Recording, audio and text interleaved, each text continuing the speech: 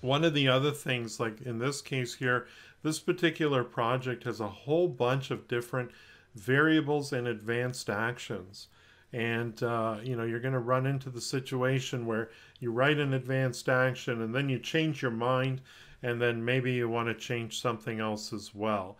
So, you know, like write a new advanced action, for example. And I've certainly done that many times as things will uh, will progress and I rewrite advanced actions and come up with new ideas, if I go into the advanced action window, you can see here from this drop down list, I have tons of different advanced actions.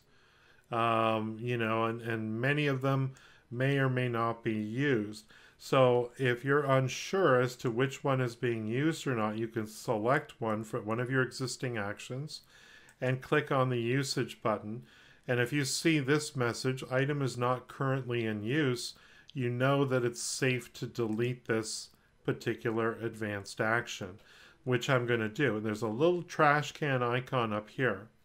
Uh, just so you're aware, um, you know, unused advanced actions, again, this is something that takes up space in your project file. They won't get published out in your final version, but if you were going to revisit this particular project, let's say six months or a year from now, it could be very difficult to ascertain which of these items is is what. And it's a lot easier if you can get rid of all the unused ones. So I'm going to go ahead and delete that. And I can continue to do this process and simply check to see if it's in use or not. So in this case this advanced action is being used on slide four. So I'm not going to delete that one. Let's check the next one. You know, and one by one, you can check to see if you have any unused advanced actions.